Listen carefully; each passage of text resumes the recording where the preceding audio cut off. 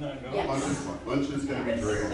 Uh, the first page here is what we're hoping to focus on. Do as many of these as we can. If you dare turn the page, these are some things for later, or maybe you wanna come some other day during the week. And that would be terrific as well. Okay? We're just hoping to kind of wrap up the, the season in a, in a bang and get as many things done as we can, just to, just to spruce it up. Make, make the, also to make the church more, more visible from the, the road. Somehow green things grow tall. So, George? Are you gonna have music other than Jeff whistling? I don't know if any memory players in there or not. Accompany my whistling. They like this Good music, George. Sorry about that. No, you're, you're All good. Right, here's the sign up sheet, and, um, look, look forward to seeing you there if you can. Thank you. Also, we are, um, we, we have a couple that has expressed interest in, in going through a new members class and joining the church. Um, and, uh, uh, before I like make arrangements with them to do that, I wanna just open it up and just see if there's anyone else who is interested in going through that. It's a simple process. But if you do, are interested in doing that, please see me after church today. Um, so I so that I can see if there's more people that want to be a part of that or not. So if you're interested in exploring membership here, just come see me after, after the service. Now we have some singing to do. Uh, and Charles and Stephanie, you'll have to forgive my addled mind, but did we ever catch up with you guys to sing with, because we had birthdays and anniversaries, we did that? We tried to dodge it, but. Okay, I, that's the thing, is I, I, I remember we, us having to dodge it, and then I forgot if we actually nailed it. We did, okay, so we don't have to sing, you guys do? No. Alright. Wait. And, uh, Brooke is having a birthday this week, but we're gonna have to catch her next week. So we won't sing to her today, but my wife is having a birthday, so we get to sing to her back to back, right? Right, so we'll sing a happy birthday to my wife, and then we're gonna sing, after that, we're gonna sing a happy anniversary to Les. John, it's a big one. Oh, it's a big one. Now, I won't, I won't have you guess how old my wife is, but you'll guess for me. Forty. Yes, yes. I love you guys all. Those are all wonderful, exactly the right answer. wonderful answers. Excellent. You can ask her how No, I'm fifty. Oh, well.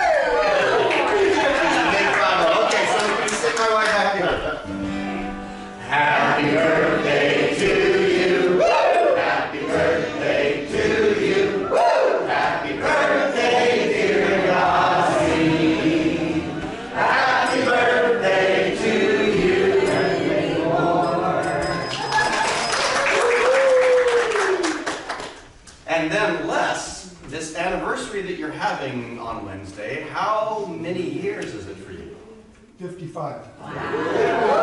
You've been married as long as I've been alive. Wow. That is impressive. Excellent. Well, let us sing a happy anniversary to Les and remind me of your wife's name. My wife's name? Yeah. Yeah, thank you. Les- Some other wife's name. I think we'll put her name in while, along with you. So Les and Kathy. Happy anniversary to you. Woo! Happy anniversary to you. Woo! Happy anniversary, dear Les and Kathy. Happy anniversary to you and many. Are there any other announcements we need to take note of today? Then let us prepare for worship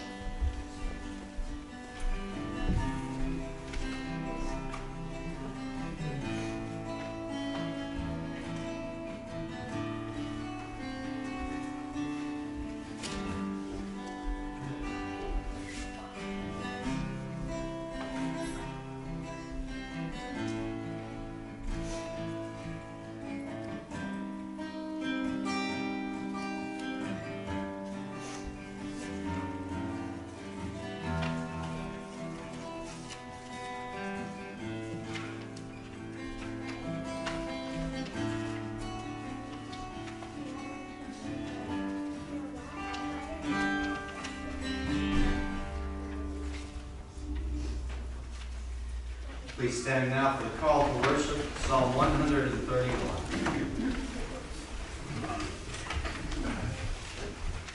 And I have to think back to your earliest years for this one. Oh Yahweh, my heart is not lifted up, my eyes are not raised too high.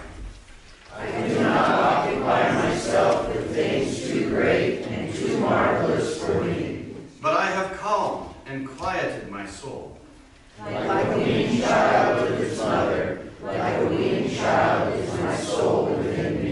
O Israel, hope in Yahweh. From this time forth and forevermore. I love that image. What a beautiful image that is. Uh, please join us in worship together. It's in your worship uh, bulletin. How beautiful heaven must be, and I need to pray.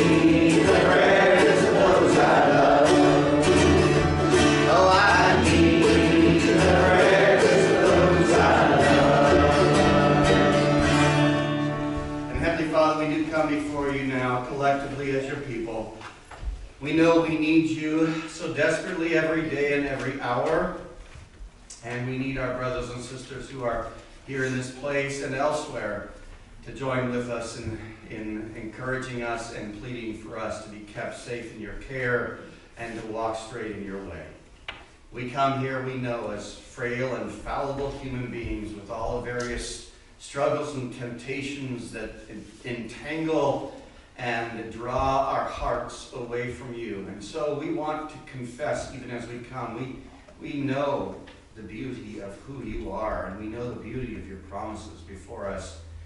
We get um, so distracted by other things. We get so torn down by other things. We long to see the beauty of your person and the beauty of your promises afresh.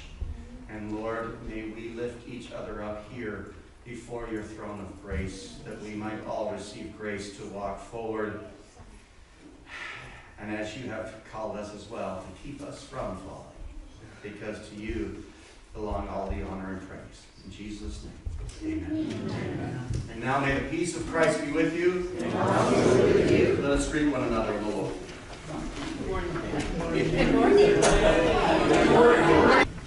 Good morning. Hi. The New Testament reading this morning is Matthew 6, 25 through 33. Therefore, I tell you, do not be anxious about your life, what you shall eat or what you shall drink, nor about your body, what you shall put on. Is not life more than food and the body more than clothing?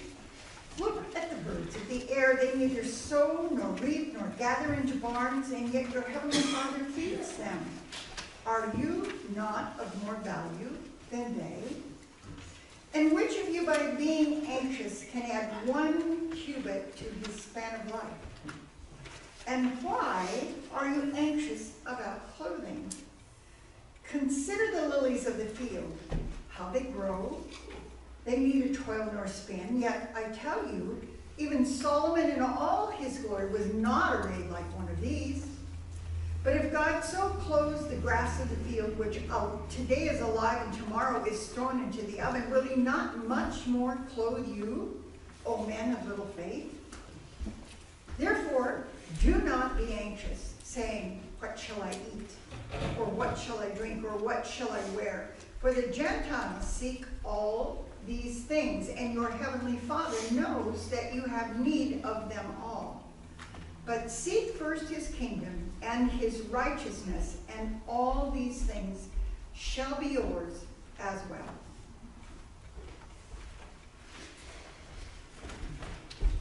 What a wonderful word from the Lord. Uh, if I could call the children forward, um, we're going to respond to this in song. Seek ye first the kingdom of God. It's in your hymnals if you want to join along with me. One, two, one.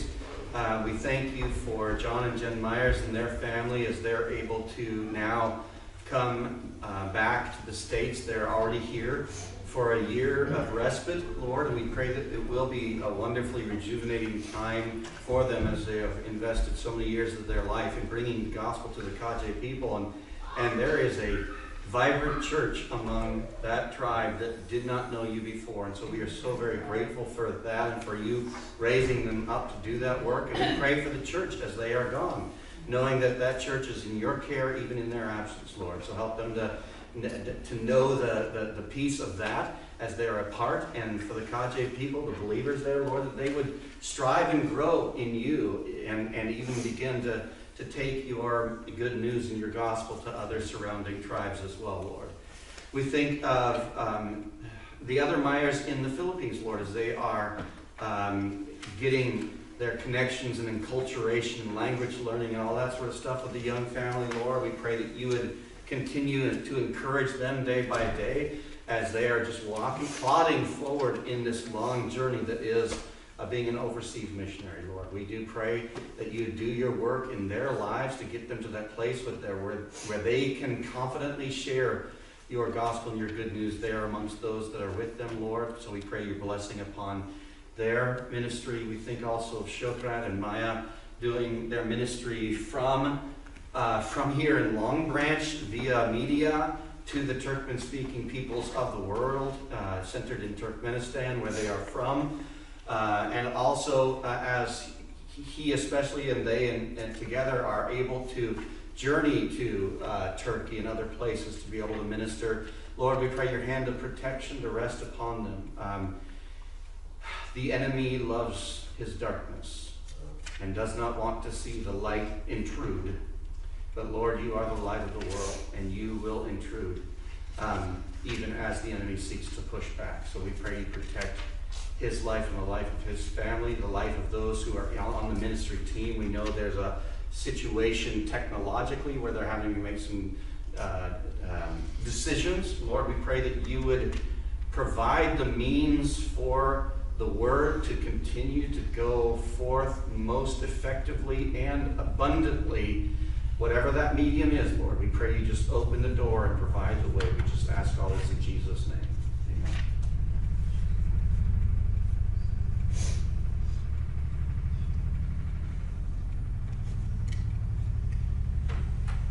Father, I just want to thank you for uh, the ladies gathering for Bible study yesterday. It was a very precious time. Lord, I ask that you use that time to um, create um, solid relationships and for us to be trained and directed by your word as we go forth as women in this church. Lord, I thank you for this morning's Bible study, Father, as um, it starts again this fall. And such a wonderful foundation that was laid again this morning uh, that we can launch from. And Lord, I just, I thank you for the pastor here. I thank you for the congregation here. I thank you for what you plan to do in us and through us in this season. Thank you, Lord. Heavenly Father, I pray for Amy, who's, who um, got sick from a barbecue yesterday, and she's wasn't able to be here today, and I know that just being here is always a recharge for the week that is mm-hmm. ahead. And um, Lord, we need the encouragement. I mm-hmm. pray that she recovers. quickly.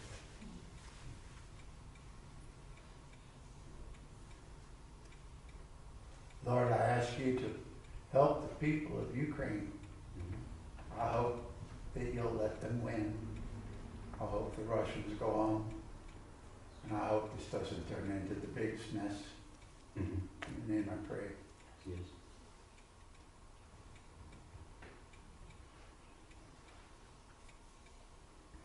and for the Russian people as well, Lord.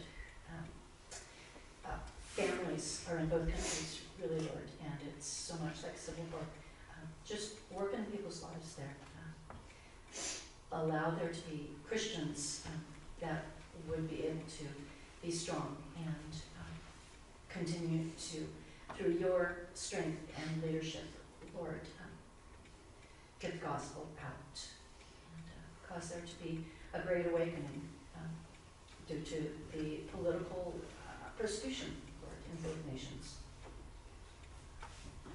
Lord, I pray for the city of Tacoma. It was named the number one, number five most violent city right now. Hmm. And just outside of where I work, there was a double homicide this couple weeks ago, Lord.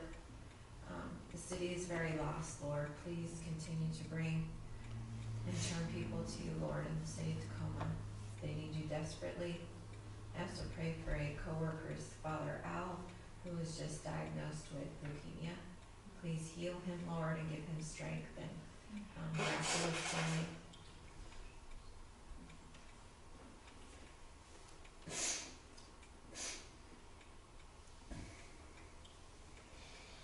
Let us, let us close together saying, Our Father, who art in heaven, hallowed be thy name. Thy kingdom come, thy will be done, on earth as it is in heaven.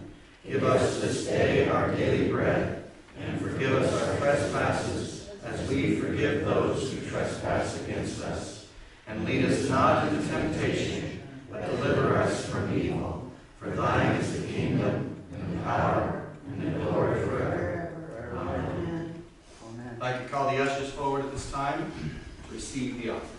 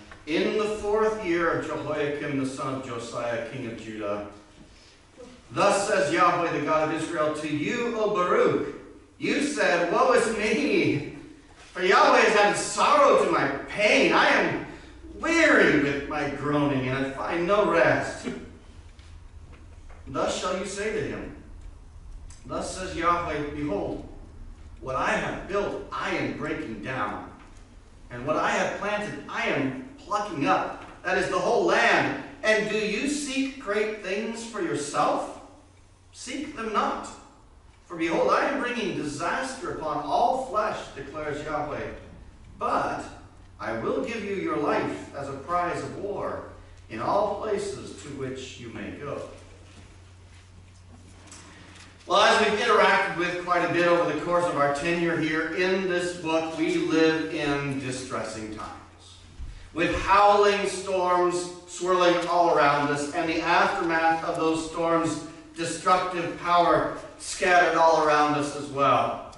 Whether that's the degradation of our culture, the apostasies of the church, the geopolitical instabilities in the world, whether that's the rise in tyranny and authoritarianism that we've witnessed rear its head and run amok, for example, in the COVID policies of the pandemic we've weathered, or the intensely polarized politics of our increasingly fractured system, or the unrelenting assault on our First Amendment freedoms, especially, or whether parents or the state are the proper guardians and guides of our kids, or the insistence and indoctrination of pro LGBTQ ideology. We've touched on all these things before. Mm-hmm.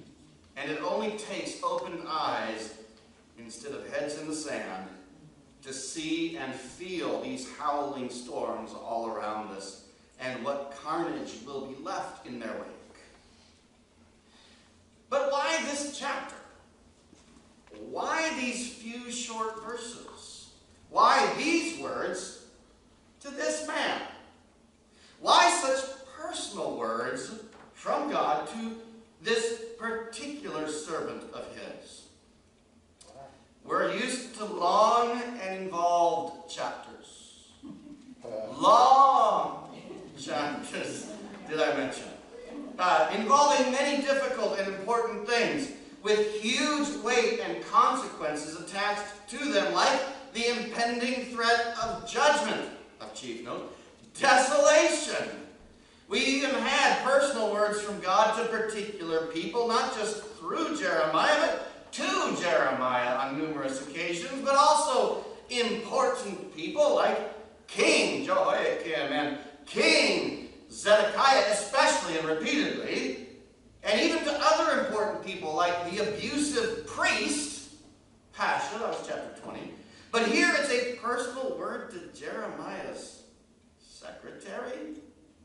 Why include this? And why include it here? Because it's completely out of place, chronologically speaking, in the narrative flow, almost 20 years out of place. From 20 years before the events we just left off with 44. These are some of the questions we'll be addressing this morning as we work our way through the substance of these verses. But the big picture is this. Number one, it's a personal word in a pivotal time. Number two, it's a personal word to a discouraged man, a deeply disturbed and discouraged servant of God. Okay, so first, it's a personal word in a pivotal time. This is flagged by the closing words in verse 1, quote, in the fourth year of Jehoiakim, the son of Josiah, king of Judah, unquote. In his fourth year. Okay, what is so significant about this particular year that forms the backdrop of all that God wants to personally say to this particular man? Because this fourth year of Jehoiakim's reign, why? That was the year the world turned. They might not have known or fully grasped its significance leading up to it or even immediately following it, but they sure found out soon enough because this year, which corresponds in our calendrical reckoning to 605 BC, was the year in which the pivotal Battle of Carchemish occurred, for any of you familiar with ancient Near Eastern history, when the balance of power, definitely and dramatically, and especially power over God's little kingdom of Judah, shifted from Egypt to Babylon. It was the event that ushered in the Neo-Babylonian Empire under the newly ascendant king Nebuchadnezzar, whom God calls my servant to chastise his own rebellious people. And notably, there are four times this fourth year is mentioned in the book of Jeremiah, including here, and each of them critical, We hear about the fourth year Jehoiakim in chapter 25, verse 1. So if you have your Bibles open, we'll be flipping a few things. And if you can track with me uh, in real time, uh, all the better. Uh, in chapter 25, verse 1, it's explicitly correlated to the first year of Nebuchadnezzar. It says this The word that came to Jeremiah concerning all the people of Judah in the fourth year of Jehoiakim the son of Josiah, king of Judah, that was the first year of Nebuchadnezzar, king of Babylon. And if you remember, that chapter was all about God's judgment through Nebuchadnezzar. First, against his own people, Judah, leading to the prophecy of the 70 years of captivity, and then second, God's judgment through Nebuchadnezzar against the whole surrounding world. Like I said, it's a pivotal year. And then we next hear about this fourth year when we get to chapter 36, when God commissions Jeremiah. Oh, and it's through Baruch to write down all his prophecies in a scroll. Chapter 36. In the fourth year of Jehoiakim, the son of Josiah, king of Judah, this word came to Jeremiah from Yahweh. Take a scroll and write on it all the words that I have spoken to you against Israel and Judah and all the nations from the day I spoke to you, from the days of Josiah until today. Verse 4 Then Jeremiah called Baruch the son of Neriah, and Baruch wrote on a scroll at the dictation of Jeremiah all the words of Yahweh that he had spoken to him. And if you recall, that precipitated the reading of that scroll in the temple the following year when all the people declared a national fast and for good reason. Jeremiah couldn't do it under pain of death. So he had to send Baruch, scared as he was, I am sure, to do it for him. And then it was taken to the king, who meticulously cut off and burned each and every bit of the scroll as it was read to him. Cold hearted and calculated to dismiss, disparage, and undo the word of God that warned of all the coming and just judgments of God through this newly ascendant king of Babylon, unless the people should genuinely repent. But King Jehoiakim had no interest in the word of God. And Jeremiah and Baruch had to hide for their lives and write it down all over again. That was when it would seem Judah's doom was sealed, which is perhaps why this current chapter, chapter 45, which mentions the same fourth year of Jehoiakim in verse 1, thus placing it in the early context of that chapter, chapter 36, maybe why it's placed here. Track with me as well if you have your Bibles open. Chapter 36 closed out the previous subsection. And it was already out of place. Chapter 34 had closed out dealing with the final days of Zedekiah's reign, but it was the critical moment, the outright and explicit rejection of the Word of God that we find in chapter 36. And so it formed an appropriate close to that moment. Well, then chapter 37 resumes where chapter 34 had left off. And the ensuing chapters brought us through the promised destruction and exile and the aftermath with the Judean leftovers ending up in Egypt. But then, in this coda, to our current subsection, we loop back. We come back to this same moment once again. Why? It's a narrative frame, bringing us back once again to that critical moment, what happened in that pivotal year. But it's also a transition into God's judgments on the nations of the world, beginning with his judgments against Egypt at the ding, ding, ding, ding, ding, ding, ding. Oh, Battle of Carchemish. Look with me, chapter 46, verse 2, about Egypt. Concerning the army of Pharaoh Necho, king of Egypt, which was by the river Euphrates at Carchemish, and which Nebuchadnezzar, king of Babylon, defeated in the fourth year of Jehoiakim, the son of Josiah, king of Judah. That is the year the world turned. And turned particularly for God's people. And all that angst, the angst brewed, took its toll on this faithful servant of God. And we'll look at that in a moment. But I want us to briefly touch that onto our own lives as well, because certainly, at least from my perspective in my limited lifetime and experience, this is a markedly unique moment. We too are living in pivotal times. The world certainly turned during the pandemic.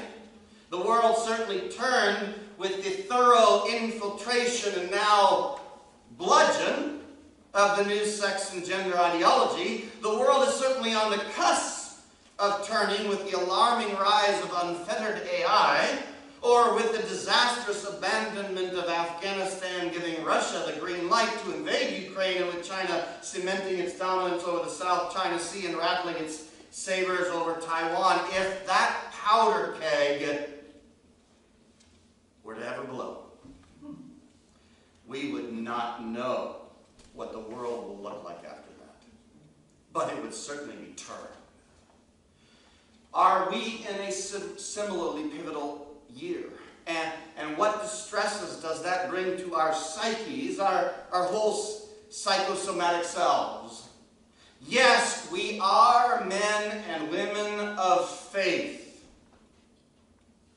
But we are also simply men and women, subject to struggle and frailty, and in need of God's word to us as well, are we not? Okay, and then second, it's a personal word to a discouraged man, a deeply disturbed and discouraged servant of God, just trying to follow the Lord and do the Lord's work, but he's he's come to the end and he's having a breakdown, which shows us how very human he is, just like us. So let us look at this man and his complaint and then how God redirects and consoles him. This is God's personal word to him. Is it also perhaps God's personal word to you? Let the Holy Spirit guide and teach. So first, at the man, God directs his word through Jeremiah, it says in verse 2.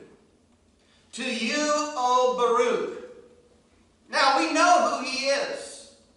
He's a scribe by trade, and he's Jeremiah's scribe, his secretary, which he likely is because he truly believes in the Lord for one, and believes in Jeremiah's cause for another.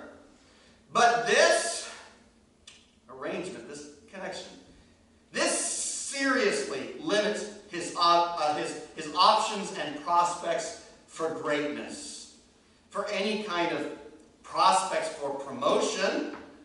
And that's what he could otherwise have expected, except for this whole Jeremiah thing. Because maybe we don't know the fuller story about who he was and potentially could have been, because when we were first introduced to Baruch back in chapter 32, he was introduced to us in verse 12 of that chapter chapter 32, verse 12, as Baruch, the son of Neriah, son of Mahseiah. And we might not know it otherwise or connect the dots scripturally because there's a whole lot of history and a whole lot of names to try and keep track of. But that's a pretty important family. It's possible even that his grandfather Mahseiah, if Maaseiah is a variant spelling of his name, it's hard to know for sure. Possible that he was the governor of Jerusalem under King Josiah, 2 Chronicles 34, verse 8. But one thing we know for sure, we're going to run into another son of Neriah, son of Mahseiah, near the end of this book. In other words, Baruch's own brother who's in the close service of King Zedekiah. In fact, he's in charge of the whole outfit.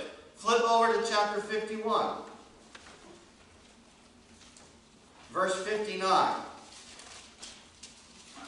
The word that Jeremiah the prophet commanded Seraiah, the son of Neriah, son of Mahseiah, when he went with Zedekiah king of Judah to Babylon in the fourth year of his reign, Seraiah was the quartermaster, or some such translation of that very important term.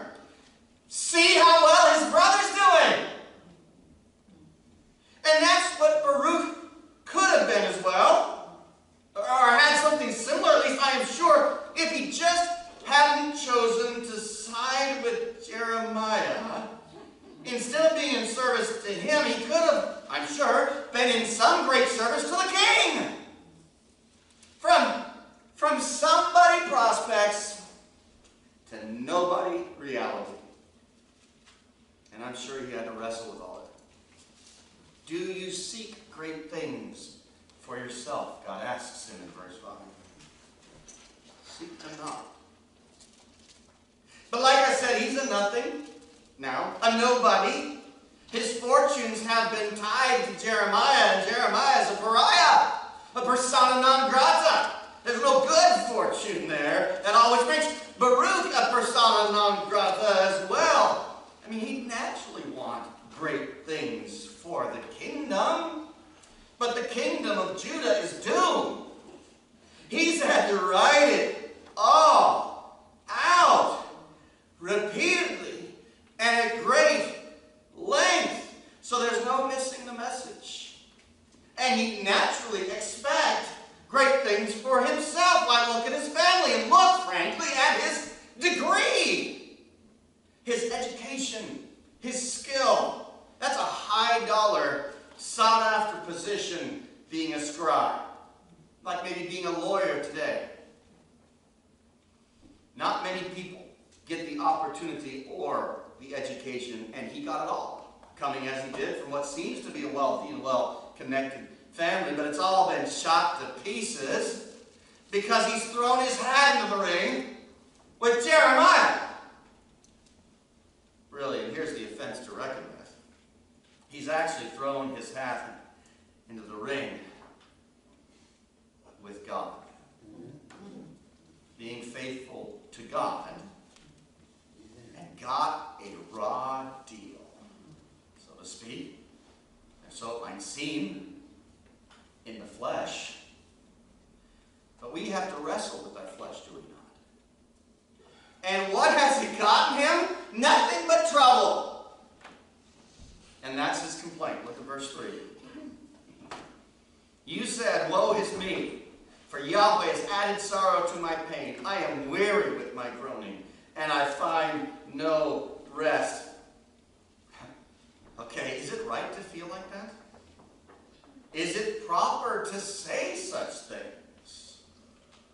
And I'm sure there's nuances to that answer depending on the various parts at play, but, but one thing we know the Lord invites us to bring everything before Him, including our complaints, our struggles, our crises of faith, or as we see it repeatedly throughout the Psalms, the book of worship for God's people, which is instructive for us because it's full of this stuff.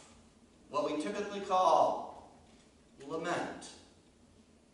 Crying out in the midst of our grief, our pain, our confusion, our trouble, expressing it, giving it voice, crying out. And here it is that we're supposed to see crying out to God. God wants us to be honest with ourselves, but not keep it to ourselves, not internalize it and let it ferment and foment and become something obsessive and controlling and faithless, but to bring it before Him in raw and honest faith. Now, was Baruch there here in these words? Or was it, at this point, simply an internalized pity party? We don't know. But either way, he's one of God's dearly loved sons. And so God comes to him with his redirecting and consoling words. But what brought these words about? What, what was it that he was complaining about and complaining about God? Like God's given me a raw deal, right? Well, remember the tag at the beginning about the fourth year of Jehoiakim's reign. That's when Babylon was victorious at Carchemish and the world turned. And that's when he had to write out all of these tedious, lengthy, repetitive, onerous, wrathful words of divine judgment. It's all doom, doom, doom. After Jeremiah's been preaching them for years upon years, and how long has been Baruch by his side? Long enough, it would seem, for all the doom from God and the denunciations from everyone else to sink in and take its toll. And those crushing words of judgment, not crushing not just God's people in general, but crushing any hopes for, frankly, his future as well, and he hopes for greatness, those great things. And from here, it's only going to get worse. Right? Right after that, in chapter 36, taking his life into his hands to read the scroll in the temple, and then having his whole scroll scrupulously handwritten, all burned up. Now, what are we going to do?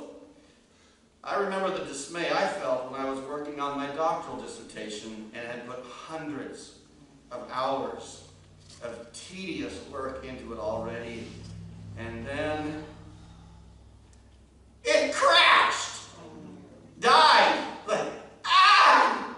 Oh, God, it was, thankfully, uh, so I know nothing about technology, but there are others that do. Thankfully, I was able to take it to a computer shop back then and get most of it recovered. But not for Baruch. Ah! Except that God had to write it out all over again. And then having to hide for his life from an angry king who'd already murdered a prophet before who said things he didn't want to hear. Found him where he fled and hid in Egypt and brought him back just to kill him. What godless audacity. What vile spite.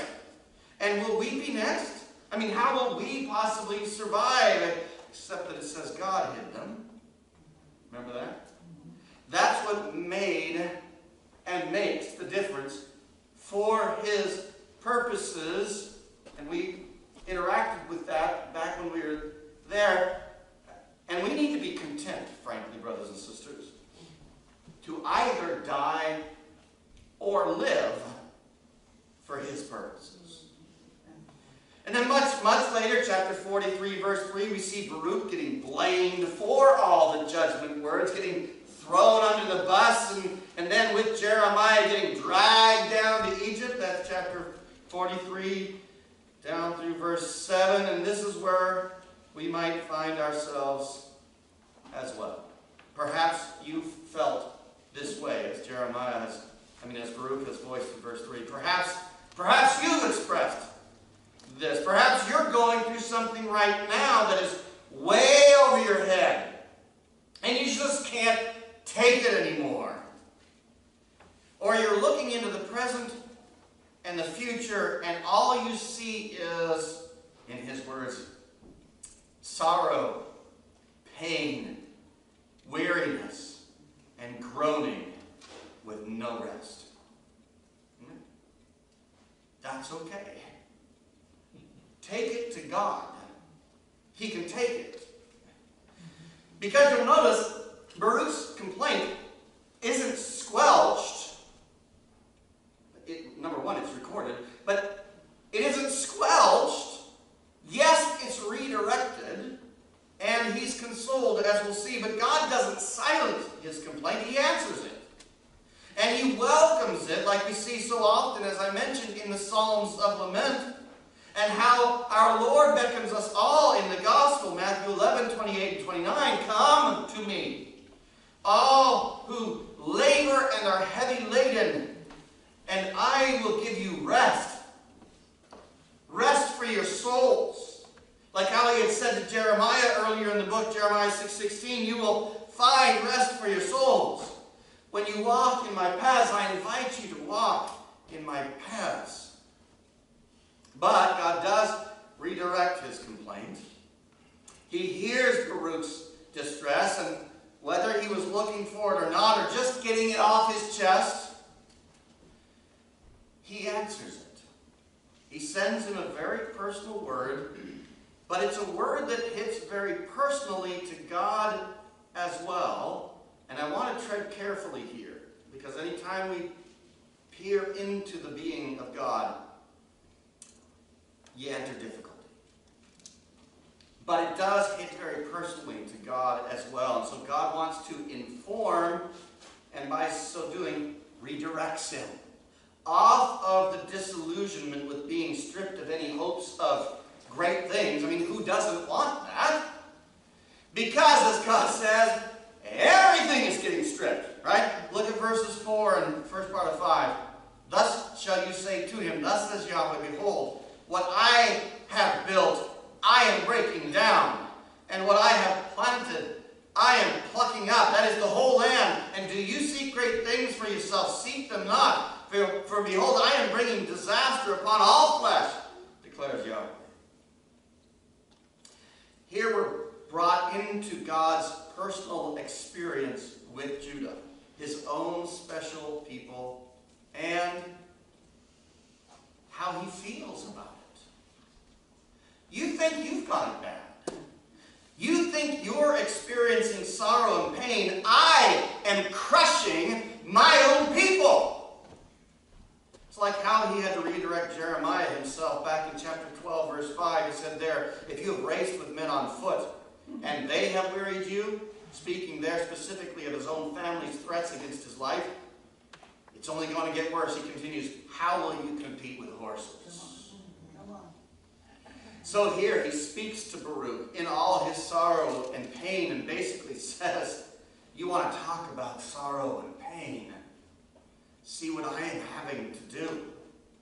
Not to dismiss Baruch's words at all, but to, but to redirect them, to put them into perspective with what God himself feels. And we are brought here to gain a glimpse, even though we can't even begin to fathom the mind and emotions of God.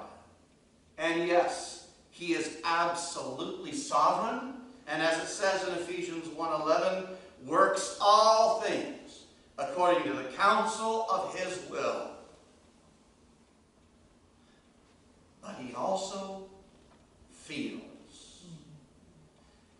And by the way, the expression here that what I have built up, I am breaking down, and what I have planted, I am plucking up, these are terms that we have heard over and over. They've been used repeatedly throughout Jeremiah, going all the way back to his commission in chapter 1, verse 10, but also as recently as chapter 42, verse 10, where God had extended, If you remain in this land, then I will build you up and not pull you down. I will plant you and not pluck you up. And, and then here's another emotion type of word. He says, For I relent of the disaster that I did to you, and they did not heed.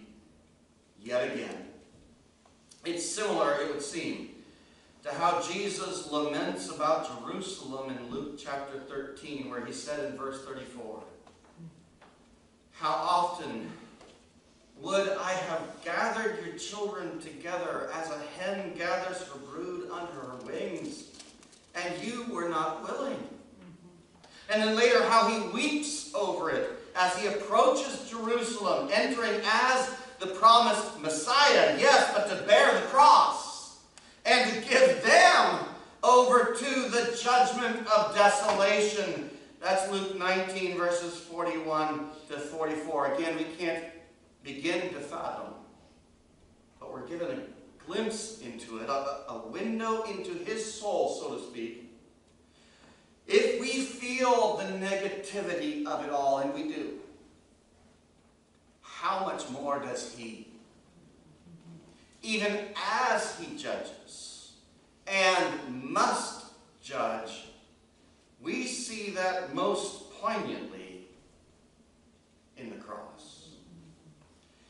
And then again, um, addressing his understandable but fleshly disillusionment, you seek great things, don't seek. I've got different plans. Be content with these different things. Be content with smaller things. Reminds me of a devotional that an older couple, couple in my former church gave to me as an encouragement, which I've had tacked to my wall in my office ever since. I know if any of you come to my office, there is this tack board that's way too crowded. Mm-hmm. But one thing has been there from the beginning. It's titled uh, Small is Beautiful, from John, the tail end of John chapter 6. And it's got a personal note from Joan. Saw this devotional several weeks ago and thought this might bless your heart. Okay, I want to read it to you. Because it did for me at that moment then and every day since. And let it bless your heart as well. Just the other day, someone said of a friend, This man is destined for a great ministry. By which he meant he was headed for the big time. A high profile church with a big budget. Made me wonder, why do we think that God's call is necessarily upwardly mobile? Why? Why wouldn't he send his best workers to labor for a lifetime in some small place? Aren't there people in obscure places who need to be evangelized and taught? God is not willing that any perish. Jesus cared about the individual as well as the masses. He taught large crowds if they appeared, but it never bothered him that his audience grew smaller every day. Many left him, John said, John 6, verse 66, a fickle attrition that would have thrown most of us into a high panic. Yet Jesus pressed on with those the Father gave him.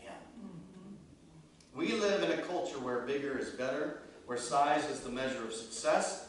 It takes a strong person to resist that trend, especially if he or she is laboring in a small place.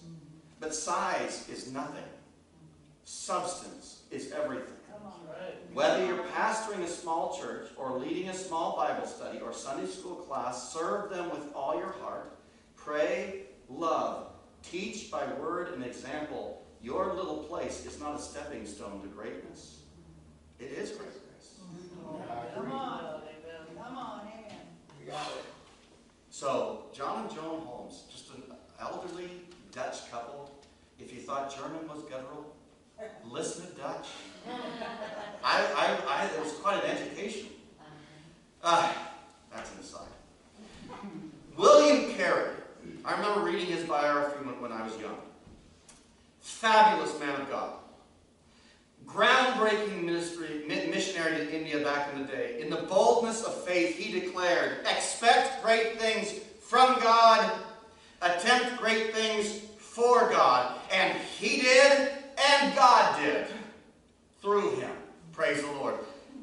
But sometimes it's also be content with small things for God or different things. As God says to us in Isaiah 55, 8 and 9, For my thoughts are not your thoughts, neither are your ways my ways, declares Yahweh.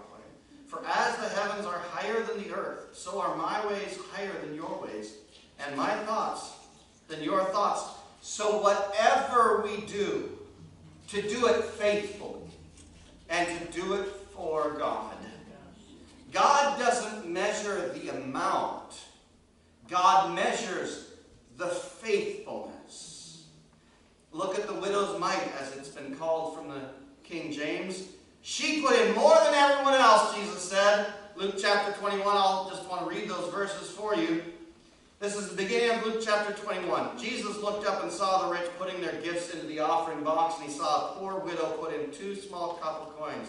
And he said, Truly I tell you, this poor widow has put in more than all of them.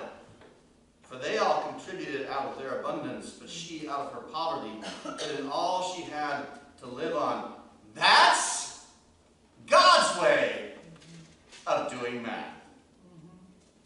Or look at the parable of the talents in Matthew chapter 25. We've, we touched on that before, but it's the same well done, good and faithful servant. Verse 21 and verse 23 whether to the one who was faithful with five talents or the one who was faithful with only two. It wasn't the measure, it was the faithfulness, or as Jesus goes on to say in both of those aforementioned verses, I want to just read them for you Matthew 25 21. His master said to him, Well done, good and faithful servant. You have been faithful over a little. I will set you over much. Enter into the joy of your master. Okay, verse 23. His master said to him, Well done, good and faithful servant. You have been faithful over a little. I will set you over much. Enter into the joy of your master. We're working here for his well done there. And faithfulness here of whatever size and scope and impact, the way we tend to measure things, is greatly rewarded there. The joy of your master. We can't even begin to grasp it. Or as Jesus says in Luke chapter 9, verses 46 to 48. Turn there real quick. An argument arose among them as to which of them was the greatest. That's what we like, isn't it?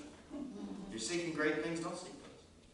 But Jesus, knowing the reasoning of their hearts, took a child and put him by his side and said to them, Whoever receives this child in my name receives me, and whoever receives me receives him who sent me. For he who is least among you all is the one who is great. God turns things on their head. And then after that, must have been uncomfortable redirection. God issues him this consolation. Every word is personal, and so is this one. Let's finish out verse 5. But I will give you your life as a prize of war in all places to which you may go. All places. Doesn't matter where. All places. Even the scary ones. Even the dark ones. And he had them aplenty. All places, even into and through this coming desolation. Talk about scary and dark. All places even to Egypt, which is where we left off in chapter 44, which is the end of the road for both Jeremiah and Baruch, and with Baruch as the bad guy. But God would be with him even there, which is another reason why God, in his wisdom, arranged this chapter here. The consolation is this gift, the best gift of all. When it all boils down to nothing, and you are stripped of everything, what is the one thing that you want most of all? When the gun's to your head, right? And they want to take all your money, or your car, or whatever, what's the one thing you plead for? Your life, right? Take everything. You can have it all, just don't shoot me. And here God says, I'm going to give you that. No matter what the jeopardy, no matter what the threat, I will let you escape scot-free with your life as booty or plunder. That's the word rendered prize of war in my version is like a like a warrior. It's going to be so good. Like a warrior rushing to the spoils. That's the rush of this gift. It is consolation. And this very personal consolation is what we earlier heard issued to another simple but servant of God, acting faithful in the midst of his fears. Remember Ebed-Melech, the Ethiopian eunuch, who rescued Jeremiah from a slow and certain and terrifying in that slow certainty. Think about it. Go back there and think about being stuck in the muck at the bottom of that cistern. Death. God said to him likewise, and similar to what he says to Baruch here, he says 39:18, You shall have your life as a prize of war, because you have put your trust in me. So will we put our trust in him? in the midst of all these howling storms. That's what we are invited to here. I mean, our consolation might not be the same as here, but we have the greatest consolation of all of His presence and His peace. As Jesus said to His disciples, and we are included, John 14, verse 27, Peace I leave with you. My peace I give to you. Let not your hearts be troubled, neither let them be afraid. Again in John 16, 33, I have said these things to you that in me you may have peace. In the world you will have tribulation. But take heart. I have overcome the world. Indeed, he has. We see it. There. Heavenly Father, we thank you for your word, your word that speaks directly into our hearts as well. Even as you have given your word to your dear, distressed and discouraged servant back then, when the world seemed like it had all turned in the wrong way. So you are speaking that word to us as well.